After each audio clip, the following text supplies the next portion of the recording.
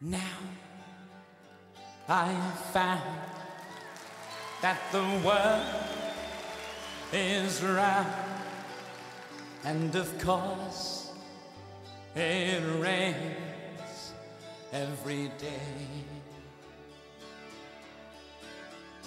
Living tomorrow, where in the world will I be tomorrow?